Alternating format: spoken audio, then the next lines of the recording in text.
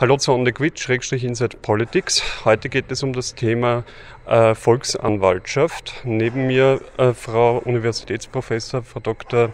Gabriele Fischer und als jetzt bekannt aus ORF und Fernsehen allgemein, Herr Dr. Günther äh, Kräuter, Sie sind eigentlich der SPÖ-Volksanwalt und als solcher auch für die Anliegen der Bürger da. Da habe ich gleich einen kleinen Einwand. Die ja. Volksanwälte agieren selbstverständlich überparteilich und die Bezeichnung SPÖ-Volksanwaltschaft habe ich gar ja. keine Freude damit. Dass ich eine sozialdemokratische Vergangenheit habe, äh, ist allgemein bekannt und da geniere ich mich nicht auch dafür. Aber ich glaube, man muss äh, unseren Zuseherinnen und Zusehern vermitteln, dass die Volksanwälte selbstverständlich vollkommen überparteilich agieren. Ist natürlich klar, aber die Beschickung der Volksanwälte läuft nach den Wahlergebnissen. Das Nominierungsrecht, so ist es geregelt in der Verfassung, obliegt den jeweils drei mandatstärksten Fraktionen im Parlament. Gewählt, gewählt wird dann allerdings schon ein Kollegium vom Parlament insgesamt. Das ist schon der erste Ausdruck der Überparteilichkeit. Das ist uns sehr, sehr wichtig. Sie müssen wissen, Entschuldigung, dass ich das noch hinzufüge, ich bin auch Generalsekretär vom weltweiten Ombudsverband und eine unserer wichtigsten Botschaften für unsere Mitglieder in aller Welt ist die Unabhängigkeit. Und daher bin ich da ein bisschen empfindlich. Absolut. Das wollte ich ja ursprünglich in meiner Einstiegsfrage klären, aber gut, jetzt haben wir es so durchgesprochen. Frau Dr. Fischer, wie, äh, um was geht es eigentlich jetzt bei dem Thema Pflege und auch äh, bei dem heutigen Thema, um was wir heute gesprochen haben? Ich leite oder ich darf seit einem Jahr die Kommission zum präventiven Menschenrechtsschutz in der Steiermark leiten. Und wir haben in diesem Zusammenhang äh, einen vielfältigen Bereich, äh, den wir überblicken, prüfen, beobachten und wo wir Anregungen geben. Ein äh, Teil davon ist die Kinder- und Jugendpsychiatrische Versorgung.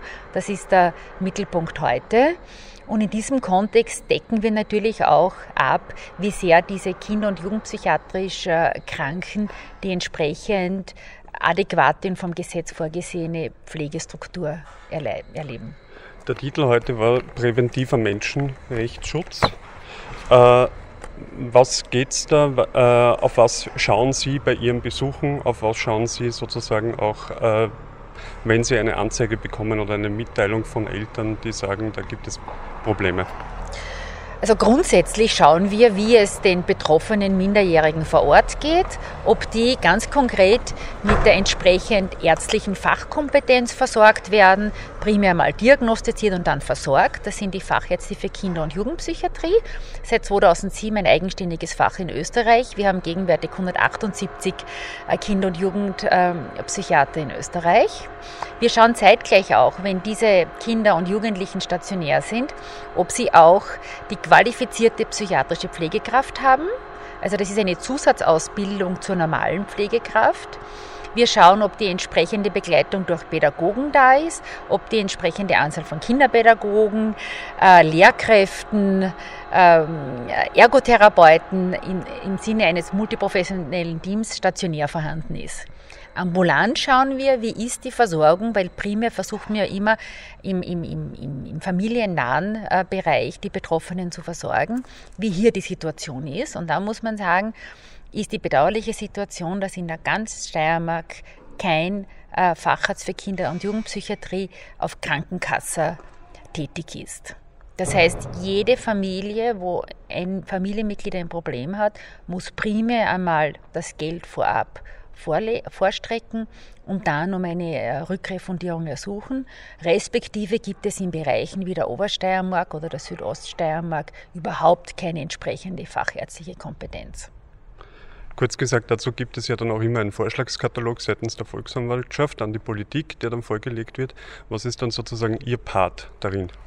Wir werden noch in diesem Jahr, im Dezember, unseren Bericht an den Steiermarkischen Landtag erstatten und wir erwarten uns bis dahin eine substanzielle Verbesserung der Situation in der Steiermark. Das heißt, es müssen umgehend Stellen eingerichtet werden, die von der Gebietskrankenkasse entsprechend ausgestattet sind. Das heißt, dass es diese Kassenstellen gibt.